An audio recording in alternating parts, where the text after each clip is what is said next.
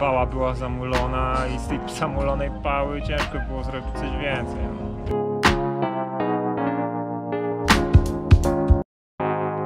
No. I jesteśmy na lotnisku w Modlinie. Najpiękniejszy port lotniczy, jaki istnieje na tej planecie. no tak, ma wiele atutów. Największy z nich to to, że jest oddalony o 10 minut od, od mojego domu. No właśnie, i dlatego jesteśmy skazani latać z niego za każdym razem. No, ale lecimy do Bergamo na wyścig. Jutro się ścigamy, więc mamy siódmą rano w piątek. Jutro wyścig. Wszystko dopięte na ostatni guzik. Nasz boarding się właśnie kończy, pewnie nie widać, ale tam się kończy.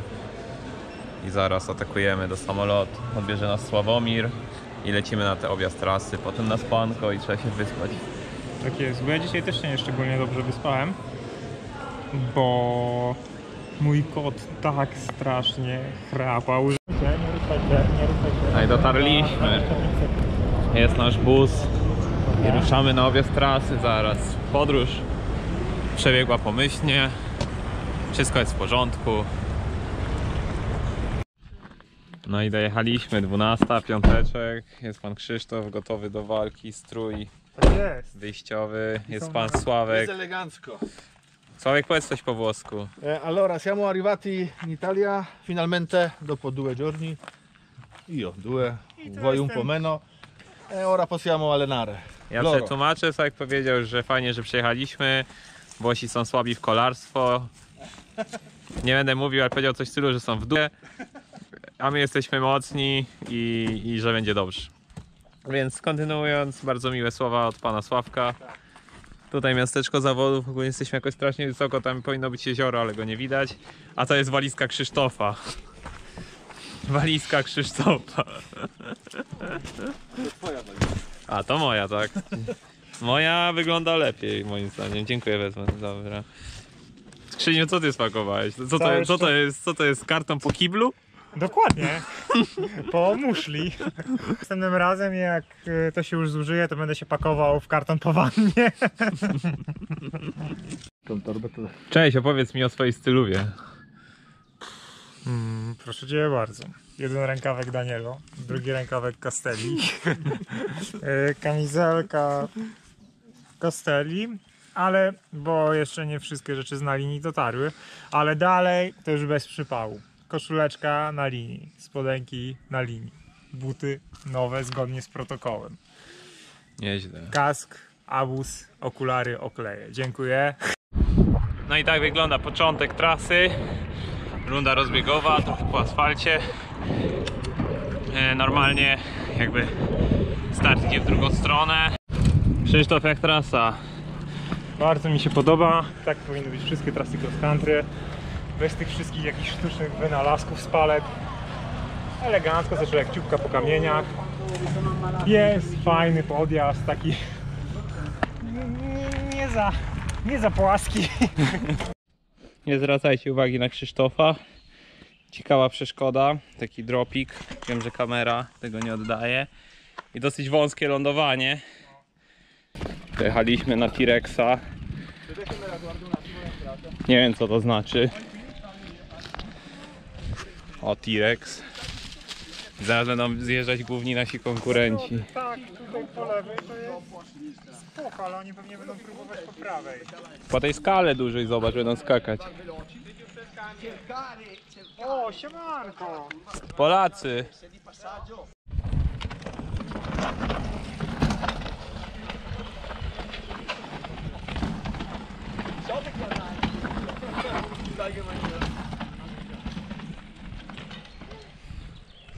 Marco Aurelio Fontana.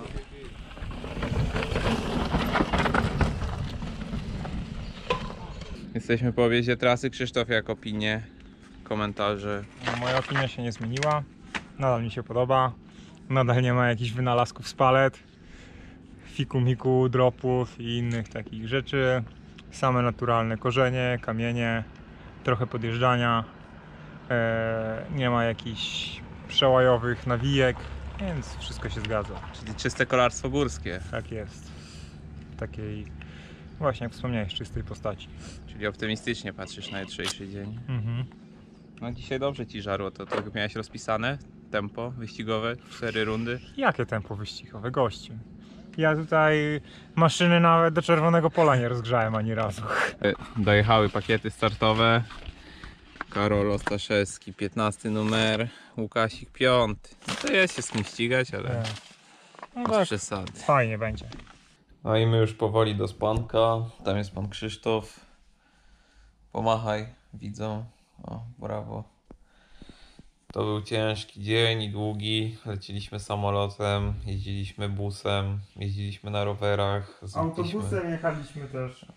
autobusem na, na lotnisko, no tak. Mm, Na lotnisko jechaliśmy autobusem. Zjedliśmy włoską pizzę. Byliśmy na zakupach, poleżeliśmy. Więc wiele się działo, ale nic spektakularnego. Jutro start wyścigu o 14. Mm, Na trasę mamy około 40 minut, więc około 11.30 wyjedziemy. A to już będziemy Was informować na bieżąco, jak tam nasz dzień startowy. Krzysztof, Jesteś kandydatem do zwycięstwa? Każdy z nas jest kandydatem do zwycięstwa. Witam. Dzień wyścigu. Mnie trochę poniosło ze snem dzisiaj. Ale to dlatego, że mnie Krzysztof nie obudził. Jest ciepło. Znaczy obudził mnie, bo robi remonty pod oknem. No tak, no w końcu 9.30 po 11 godzinach snu to zbyt wcześnie, żeby cokolwiek robić. No, sam, sam sobie zaimponowałem trochę tym, co dokonałem dzisiaj. No, myślałem, że jest 7.30 i patrzę, to 9.30. No. Ale w zasadzie nie poszedłeś chyba spać jakoś dużo później. No nie, ja. 22.30 to już spałem. No. Maszyny gotowe, wyglądają ładnie. Ja się pochwalę. To mój rower? Mam nową kasetkę XTR-a i nowy łańcuch, więc teraz mam równe szanse z Krzysztofem. Bo on też miał nowe w ostatnim czasie. No nie, nowe miałem na Costablance, to już nie jest nowy, już jest... No. Jedziemy na Tanderach. Takie były i w sumie się wczoraj sprawdziły, więc takie zostają. Ja trochę niższe ciśnienie, mam 1,35, 1,25 miałem, dobrze mi się jeździło. Dzisiaj jest też czas, żeby sobie na trasę wskoczyć, więc pewnie na nią wskoczę objechać. No i dochodzi 10, idę zjeść śniadanko, za 4 godziny startujemy. Więc w sumie jest dobrze, pospałem to nie będę się nudził. Przed chwilką skończyłem śniadanie, a tu już muszę ładować ryżyk. No, ciężki to poranek, szybko mija. Oglądam obie strony, sobie przypominam. Jest też Krzysztof. Krzysztof, jak ryż? Ugotowany w punkt. Nie wiem jak to zrobiłeś, musiałeś naprawdę zerkać na zegarek co 5 sekund, żeby tak idealnie go gotować. Aczkolwiek to ja wyłączałem, zdejmowałem go z gazu. No to jest teamwork. Gratuluję. Szufla. Szufla. Pogoda coraz lepsza. Tam są góry. Piękne. Śnieg nawet leży. Sławek dyskutuje. Gest zwycięstwa. Wybaczcie bałagan, ale to wszystko wina mm, tej torby. biorę to na. Krzycha. A ta torba jeszcze nie wróciła do domu z, od Hiszpanii. No tak naprawdę chyba od Mistrzostw Polski w przełajach. Już troszeczkę czasu minęło, no ale dzięki temu mamy pierwsze trofeum w pokoju. Drugi etap Costa Blanki, srebrny medal. A twoje trofea z Costa Blanki gdzie są? W domu chyba. W świetniku. No chcieliśmy, tylko są wyeksponowane pięknie, razem z innymi medalami. No, Ale- Pierwsze zwycięstwo w etapówce w GC, więc to nie lada wyczyn. No i dojechaliśmy. Jesteśmy na zawodach. Dzisiaj trochę lepsza atmosferka niż wczoraj. To samo miejsce co wczoraj. Naprawdę gość od y, miejsc jest królem i chyba nam to trzymał po prostu, więc fajnie, fajnie. Zwłaszcza, że mówił, że nie będzie mogli tu stąd, jednak stanęliśmy. Wiecie, to jest maszyna fajna, wiadomo. Nawet doskonała. Ale ja chciałem wam pokazać coś. Coś niesamowitego. To jest maszyna. To jest auto klubowe. I do tego drużyna UCI. To mi się podoba. Taką bym chciał. Widać połączenie klasyki, historii, szacunku do motoryzacji. Ja nawet nie wiem co to jest za auto, pewnie jakiś Fiat. Tak domniemam. Ale ja się nie znam, albo... Iveco. Iveco. Waler Bike. Więc jeżeli byście kiedyś widzieli taką maszynę na włoskich drogach, to naprawdę pomyślcie sobie, że te auto wie wszystko o kolarstwie. Zwłaszcza, że to włoskie auto z lat 90., więc on naprawdę zna wszystkie tajemnice kolarstwa, jakie tylko istniały. Nawet strach myśleć, co tam się działo, co? Yy, no co tak myśleć? Nie ma tak nowe spodenki na start. Metkę odepnę i na pupę. A tutaj maszyny już z numerkami startowymi. Piętnasteczka, Karol Ostaszewski, wspaniały zawodnik. Piąteczka, Krzysztof Łukasik, też bardzo fajny zawodnik. Co ty robisz? A, docisnę kasz.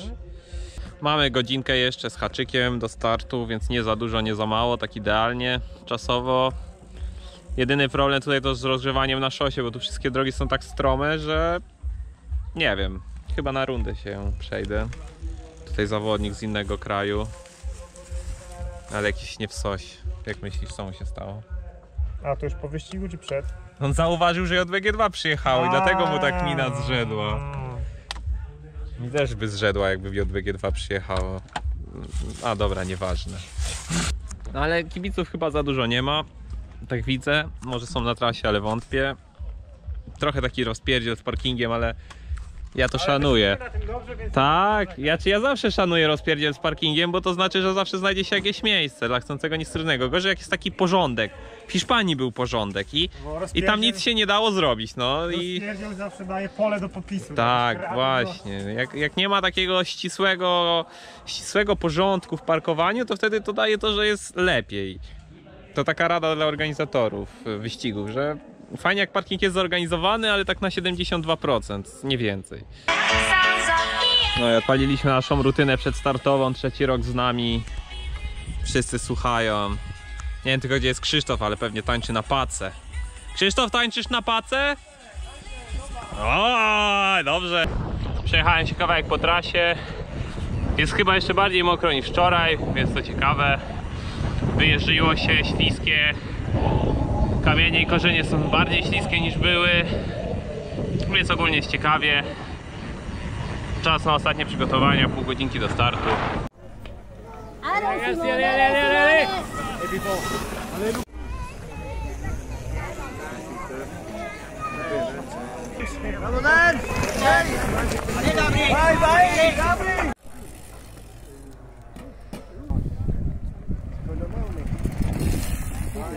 Się zapytam. Włoskie zmagania za nami. Ciekawy był to wyścig.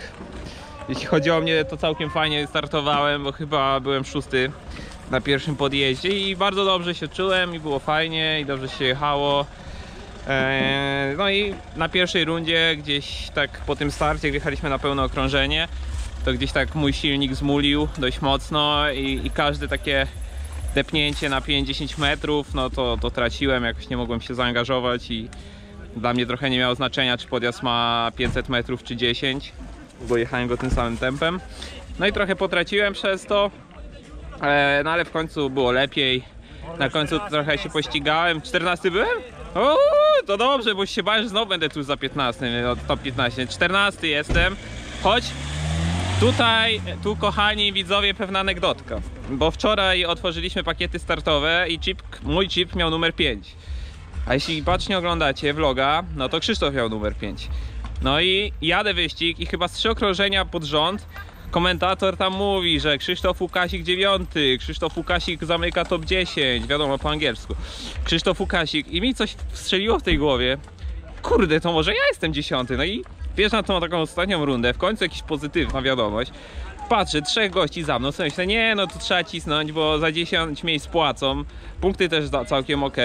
Za dziewiąte miejsce jest dwa razy więcej pieniędzy niż na dziesiąte, to cisnę. Przyjeżdżam na metę, a Łukasik mi mówi, że jest dziewiąty. W sensie ten dobry Łukasik, e, prawdziwy. ten prawdziwy. No ale 14 miejsce to jakiś pozytywny, to trochę humor mi się poprawił. Więc odczucia ogólnie takie mieszane. Eee, na koniec udało się coś wykrzesać z siebie bardziej, więc to pozytywne.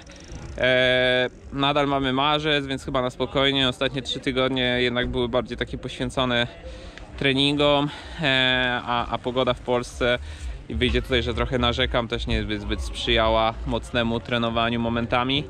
Eee, więc co? Więc chyba jest ok, powoli do przodu, robimy swoją robotę. Jeszcze trochę czasu do tego właściwego rozpoczęcia sezonu mamy. W zasadzie za tydzień się rozpoczyna ten sezon, o którym wszyscy w Polsce myślimy. Więc ostatni start treningowy to był zdecydowanie. Ostatni treningowy start. Langelois to wiosenne Mistrzostwa Polski. I tam zobaczymy jak pójdzie. No ale jest ze mną Krzysztof Łukasik. Też brał udział w tym wyścigu. Krzysztof jeździ ze mną w drużynie JBG2. niespodzianka. Krzysztof, jak ci poszło? Mm, przeciętnie.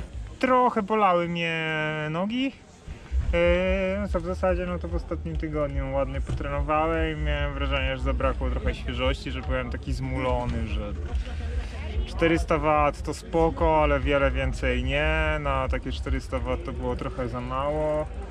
Yy, więc tak właśnie czegoś, czegoś, czegoś zabrakło. Czegoś zabrakło, ale no nie będę narzekał. Na pewno ze swoim trenerem Jeziorbajkiem e, skonsultujecie czego zabrakło i, i Jezior, doskonały trener, powie ci czego zabrakło. No, na pewno. E, Myślę, że na pewno nie zabrakło jedzenia, bo wczoraj nażarłem się strasznie. A spania? Spania też nie zabrakło. Ja mam trochę na zanadrzu, jakbyś chciał. Nadwyżkę Nie, dzisiaj ja też zrobiłem. tak się składa, że akurat jeśli chodzi o to, to, to spoko, spoko. A jak oceniasz trasę? Trudna. Eee, No i strasznie szybko jeździli ci Włosiaki. Po jakichś tych przepłaszczeniach, te winkle, to naprawdę tak mi się wydawało, że jakoś to robię, a okazało się, że, okazywało się za każdym razem, że na wyjście z takiego winkla traciłem. No, i tak No, ale moim zdaniem to jest ta różnica, że jak gdzieś się ścigasz drugi czy trzeci raz, to zawsze jesteś szybszy niż jak No. jeden dzień pojeździłeś na trasie i, i zawsze to jest trochę nie fair. Aczkolwiek. e, Nie, no też czy jeden dzień więcej myślę, że jakoś diametralnie nie zmieniłby mojego rezultatu. Po prostu pała była zamulona i z tej zamulonej pały ciężko było zrobić coś więcej. No.